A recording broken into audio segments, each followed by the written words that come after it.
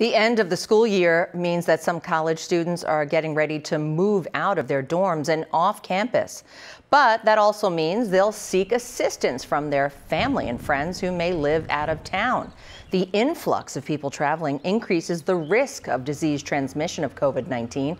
That's why students are encouraged to seek help from people they're around on a regular basis if possible, using roommates. For example, uh, they are already considered household contacts and are very appropriate for you to be um, connecting with uh, to assist with the move out process. Rombowski says that roommates should schedule times for each person to move in and out to avoid having multiple people in the house at once. And students should also communicate with their landlords to eliminate the risk of intermingling with different households in common areas of those buildings.